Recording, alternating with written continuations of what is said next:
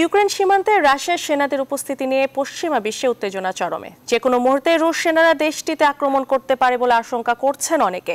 এমন পরিস্থিতিতে ইউক্রেনের মানুষের আত্মরক্ষার জন্য অস্ত্র পাঠানোর তথ্য জানিয়েছে যুক্তরাজ্য। এদিকে ইউক্রেনে হামলা চালালে রাশিয়াকে চরম মূল্য দিতে হবে বলে হুঁশিয়ারি দিয়েছে Germany.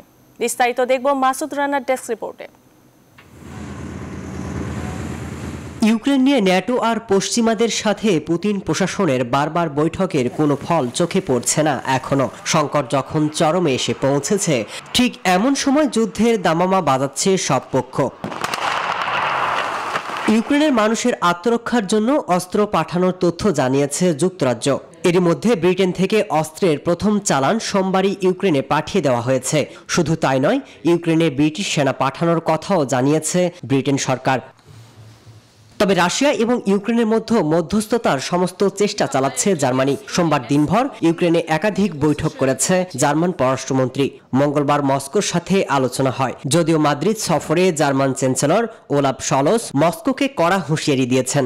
Wir haben uns gerade আলোচনার মাধ্যমে রাশিয়াকে সমাধান সূত্রে পৌঁছাতে হবে। আগ্রাসী মনোভাব দেখালে তার কঠিন পরিণতি ভোগ করতে হবে।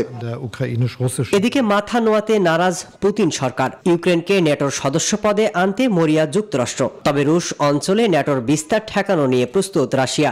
এই অবস্থায় প্রবল বিতর্কে ইউক্রেনকে ঘিরে বাড়ছে যুদ্ধের আশঙ্কা। Masud Rana news twenty